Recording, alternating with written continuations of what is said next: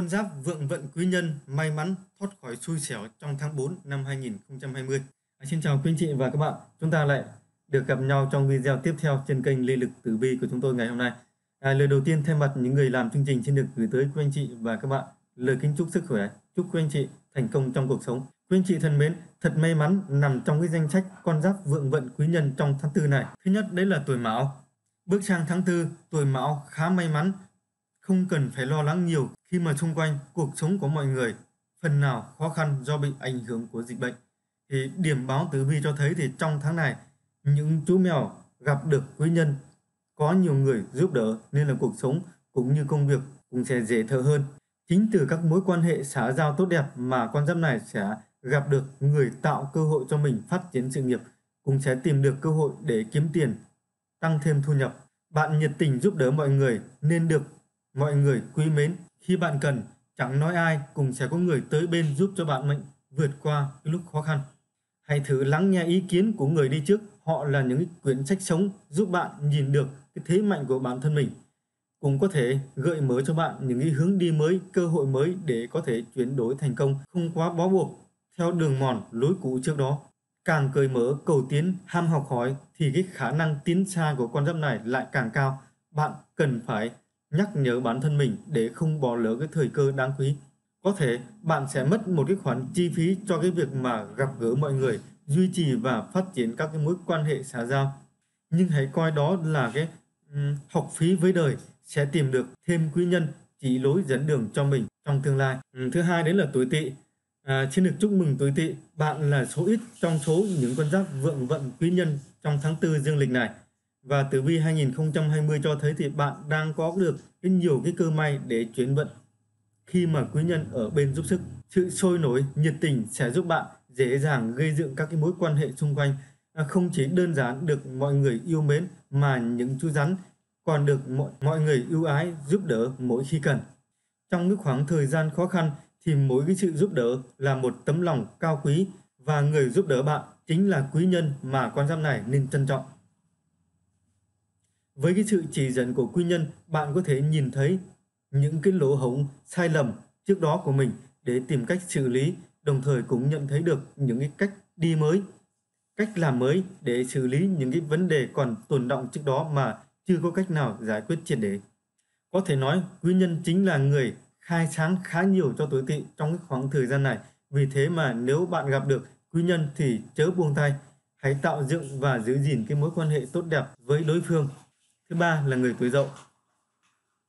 Có thể nói thì tháng 4 năm 2020 là cái khoảng thời gian mà con giáp này muốn gì được đấy, vận trình hanh thông thuận lợi vô cùng.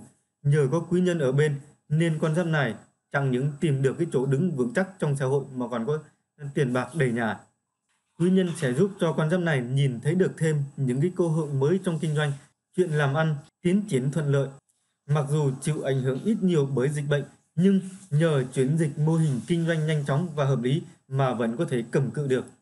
Chỉ cần chờ đến thời cơ mới thì với cái nguồn lực sẵn có cùng những cái kinh nghiệm tích lũy được trong cái thời gian vừa qua thì những chú gà hoàn toàn có thể bùng nổ về tài lộc, lợi nhuận tăng cao gấp nhiều lần so với trước đó. Các cái vấn đề khó khăn trước đó cũng được quý nhân chỉ điểm tìm ra để tìm ra con đường tắt nhanh chóng đi đến thành công không tốn nhiều thời gian công sức vào những cái chỗ không thực sự cần thiết nữa. Bạn được nhiều người quý mến vì cái sự thẳng thắn, dám nghĩ, dám làm của mình. Hãy cố gắng để phát huy thế mạnh của bản thân, sẵn sàng để đối mặt với khó khăn và tìm cách vượt qua thay vì trốn tránh. Đường dù xa đến đâu thì cứ đi rồi sẽ đến. Nếu chỉ ngồi im một chỗ, sợ hãi, lo lắng thì e rằng cả đời chẳng thể bước chân ra nỗi lũy che là. Thứ tư đấy là người tuổi ngọ theo dõi tử vi phương Đông, người tuổi ngọ sẽ không cần phải quá lo lắng về chuyện tiền bạc trong tháng tư này. Vận trình tài lộc của bạn vẫn khá ổn định, nhất là người làm ăn vẫn duy trì được mức tăng trưởng khá. Mặc dù dịch bệnh cũng phần nào ảnh hưởng song con giáp này biết cách để thích nghi với thời cuộc. Cũng chính nhờ dám thay đổi nên là bạn có thể đứng vững được những cơn sóng gió dập vùi này. Tiếp tục duy trì những cái mối làm ăn cũ nhưng thay đổi cách thức hoạt động đó là những lời khuyên mà quý nhân dành cho người tuổi ngọ trong khoảng thời gian này, áp dụng theo bạn thực sự nhận thấy tính hiệu quả của nó.